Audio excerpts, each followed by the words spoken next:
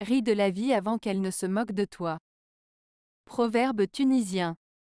Ce proverbe tunisien nous rappelle qu'il est important de prendre la vie avec légèreté et humour, et de ne pas se laisser abattre par les difficultés ou les épreuves.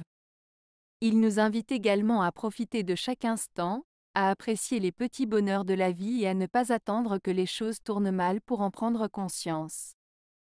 En somme, il nous encourage à adopter une attitude positive et à ne pas nous laisser envahir par la morosité ou la tristesse.